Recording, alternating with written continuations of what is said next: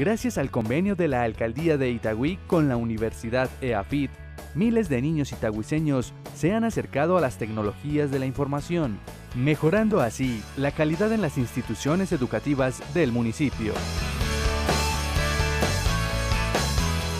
La Alcaldía de Itagüí, a través del Plan Digital TESO, realizó el primer encuentro creativo de estudiantes.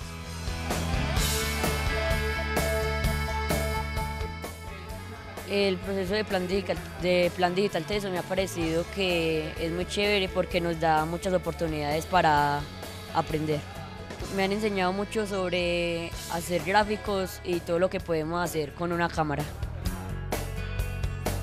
El encuentro ha sido muy chévere porque más que venir a conocer esos lugares, o sea, la universidad es un, es un reencuentro de muchos conocimientos que uno no ha adquirido. Entonces es muy chévere porque uno aprende muchas cosas. He aprendido mucho sobre la narración, la historia, cómo se forma la historia, los personajes, el universo de, la, pues, de las historias, personajes, todo lo que tiene que ver así con la formación de las historias y la narración me parece súper, pues me parece genial porque más que nosotros los estudiantes, también la comunidad como los padres de familia han aprendido. Entonces es un proceso que nosotros antes no teníamos, pero que ya tenemos.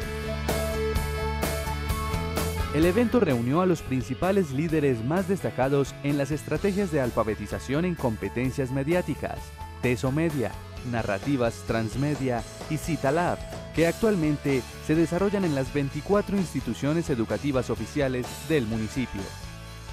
La actividad reunió a más de 200 estudiantes en la Universidad EAFIT, socio de este proyecto y escenario ideal para realizar diversos talleres orientados al desarrollo de habilidades para la producción mediática y comunicativa a través de medios y plataformas, tales como diseño de juegos y juguetes, integración de medios, animación a través de stop motion, elaboración de infográficos y narración de historias en medios digitales.